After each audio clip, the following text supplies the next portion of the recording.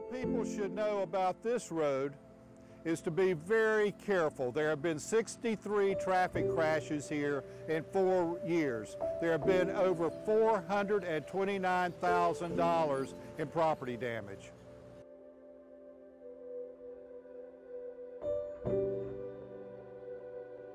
The main problem with this intersection is congestion. It's only four lanes, so it's not set up for all the modern, the traffic that we have today. All the recent development has just poured traffic onto this intersection.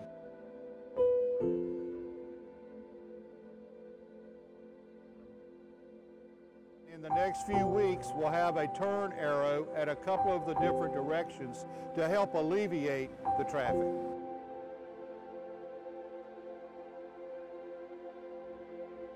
The town is scrambling. The DOT is trying to help and the state legislature is trying to help. There's a lot of things going on to try to provide the funding for this intersection.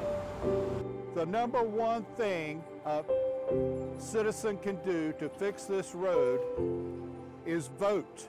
We have 10,000 registered voters in Stallings, and the mayor was elected with less than a thousand votes unopposed in the last election.